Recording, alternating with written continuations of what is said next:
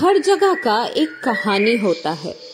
एक अलग सा खुशबू होता है, जो पता लगता है वहाँ के सुबह से। पता लगता है वहाँ के लोगों से।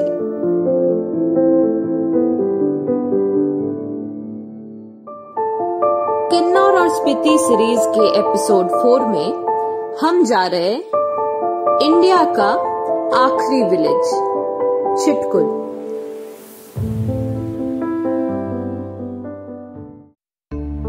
पिछले एपिसोड में सांगला पहुँच के मैंने लाइफ में पहली बार डांस किया एक किन्नौरी वेडिंग में। और यहाँ से निकल के मेरा आज का डेस्टिनेशन है बसपा रिवर के किनारे बसा एक छोटा सा गाँव, Chitkul. Good morning. Uh, today is the fourth day, and we are going from uh, Shangla to, towards Chitkul today. And at Chitkul, we'll be staying in uh, tents today in the Baspa River camp. And uh, while on the way, we have now stood at a point where we are getting a very good view of the entire place. On the opposite side, uh, that mountain, there's a very narrow waterfall that is coming from a long way from the top. So we are standing here for the view let me show you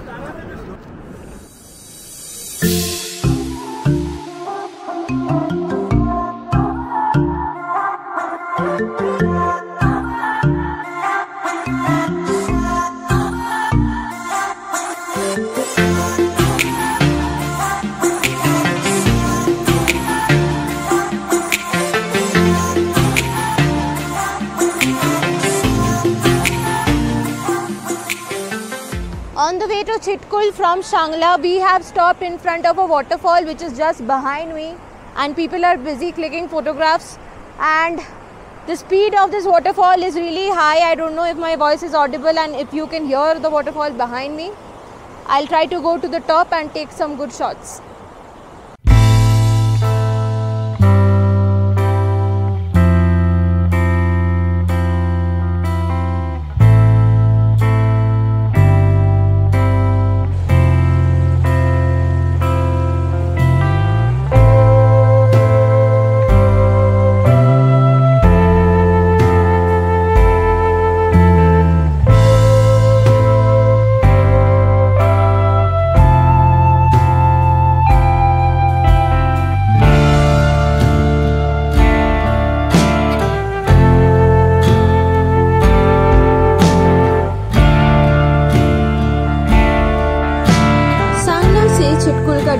Distance है सिर्फ़ 20 kilometre और पहुँचने में सिर्फ़ दो ही घंटा लगता है। And this is our camping site, the Baspa River camp. This is one of the best camping sites at Chitkul because ये बसपा नदी के किनारे के बहुत ही पास है। यहाँ पे करीब 20 टेंट्स है और टेंट्स का charge is around three thousand rupees पर टेंट हर एक टेंट में एक रूम है, एक वॉशरूम अटैच्ड है और साथ में एक पोर्च एरिया भी है जहाँ पे बैठ के आप बाहर का फुल व्यू एंजॉय कर सकते हो। Now let me take you inside to show कि अकोमोडेशन यहाँ का कैसा है। टेंट काफ़ी स्पेशियस है। अंदर एक बड़ा सा बेड है which is enough for even three people और नीचे एक और छोटा सा बेड दिया हुआ है just in case there is someone extra I'm walking towards uh, the actual border checkpost, which is the last point where we can go. And after that, we don't have, the permission to go. We need to have some extra permission or be a member of the ITBP to go there. So we are trying to go to the last point. And uh, let me tell you, Chitkul is the last village of India, and after that, it is China and just in front of me now while going i can see a school uh, which is also india's last school here. Let me show you. This is india's last school before we reach china. I mean who wouldn't like to study in such a school when the view from your school is this? On one side there is the baspa river and a set of mountain ranges and from here if I turn around I can see our campsite. That is our campsite. The blue one, also called the Baspa River Camp. Camp से मैं इस इरादा लेके निकली थी कि मुझे India का लास्ट पॉइंट तक जाना है चेक पोस्ट तक जहाँ तक हमें जाने का परमिशन है. बट गूगल मैप्स चेक करने के बाद आई सॉ कि वहाँ पे तो लोकेशन दिखा ही नहीं रहा है and also there was nobody around to ask for it so इसीलिए I just took a random road in the direction of the border ये तो पता था कि कौन सा डायरेक्शन में जाना है पर ये नहीं पता था कि कितना दूर जाना है। थैंकफुली अनाफ अराउंड दो किलोमीटर चलने के बाद हमें रास्ते में एक इंसान दिख गया जिससे हम पूछ सकते थे कि कौन सा रास्ता से जाना है। अपने अपने घर मकान बना के सब अपने अपना ही और ऐसे पत्थर भी लेके जाते हो? किससे करते हो? मतलब घर जो बनाओगे वो पत्थर वाला होगा या क्या होगा? पत्थर ये सब वहाँ जो अपने घरों के नज़दीक पत्थर है उनको काट के तराश के तब अच्छा। और आपका कहाँ पे बनाओगे घर वो गाँव के अंदर? गाँव के अंदर। Just look at the colors of the rocks here. They are of so many different colors. I can see purple for example. This rock here is purple in color. I can see blue. I can see pink. See this is a pink rock. And this is looking amazing. It's filled with colorful rocks all over.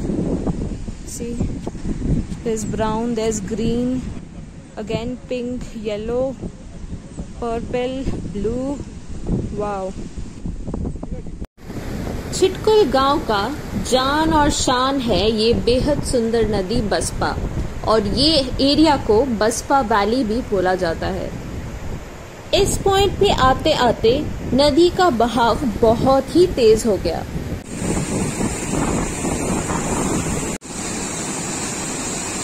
पूछताछ करने पे पता चला कि मैं जिस रास्ते में आई हूँ, ये एक्चुअली गलत रोड है।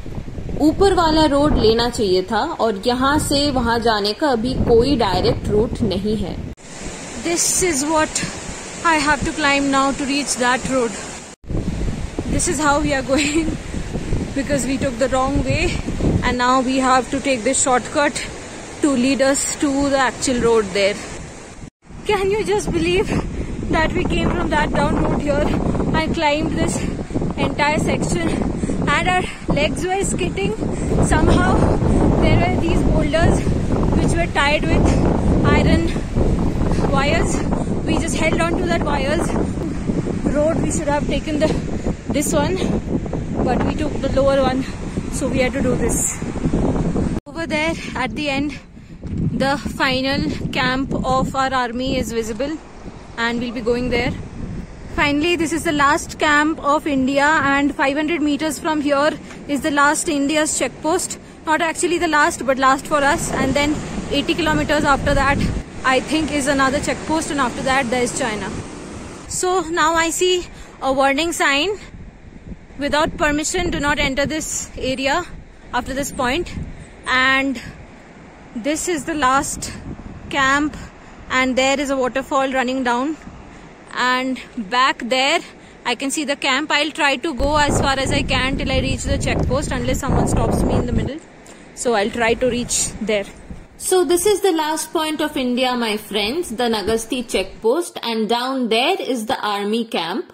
We just spoke to two of these army men and we had a very hearty chat with them but we cannot take photos of them when they are in their uniform neither can we take videos and they actually showed us how uh, the situation is during winters. And actually they also showed us a photograph of the actual China border uh, that is around 80 kilometers from here. And uh, there are two more checkposts beyond this uh, checkpost which we are not allowed to go. And uh, those are uh, 50 kilometers apart from here. And uh, electricity is there up to the next checkpost but the last checkpost there is no electricity. So yeah we had a very good discussion and there are also these people i think i'll be asking them for a lift to get back because we have already walked a very long way हमारी camp site से ये check post around five to six kilometres का distance पे था we had already walked that entire distance और अभी ये Himachali truck में लिफ्ट लेके मैं पहुँच गई to the actual village of Chitkul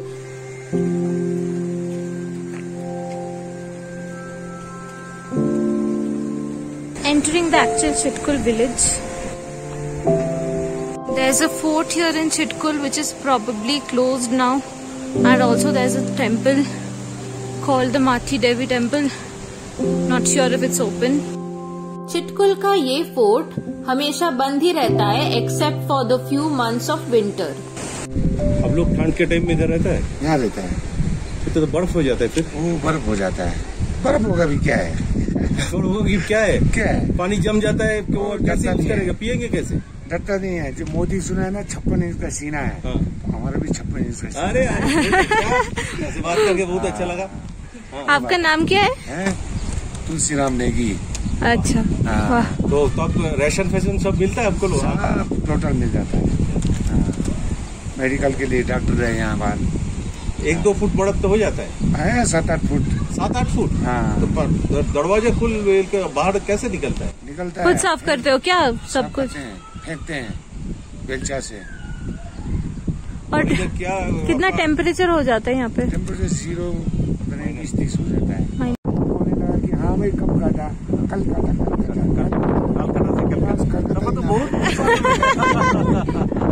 तो तो ये भी बता दीजिए चिटकुल का नाम चिटकुल क्यों है हाँ, अभी आया ना का नाम छिपकली इसलिए रखा गया ना, पहले ये पूरा ये मिट्टी थोड़ा सख्त था।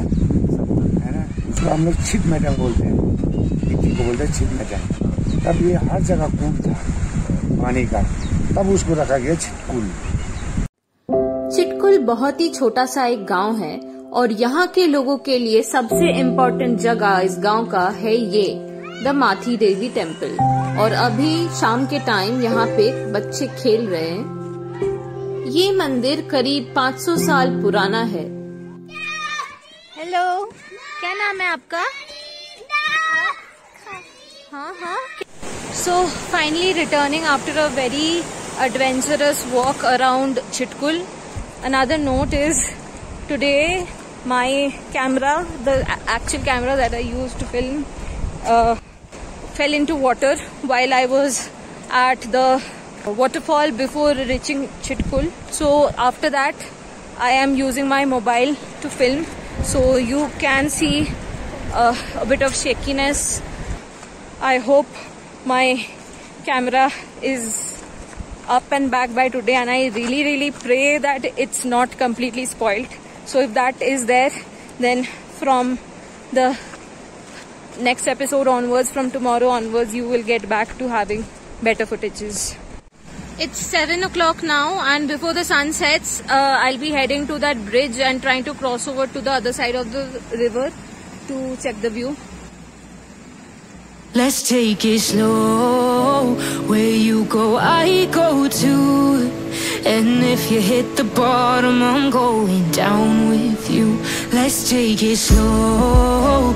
Who cares where we gotta be? You'll have a good time wherever you're with me. Let's take it. अभी सनसेट का टाइम है और मेरे मोबाइल पे जो कलर आ रहा है, उससे भी काफ़ी बढ़िया लग रहा था ये जगह और अगर आपको जानना है कि मेरा कैमरा ठीक होता है या नहीं तो आपको नेक्स्ट एपिसोड तो ज़रूर देखना होगा और अभी के लिए आए हो तो सब्सक्राइब करके ही जाना बाय बाय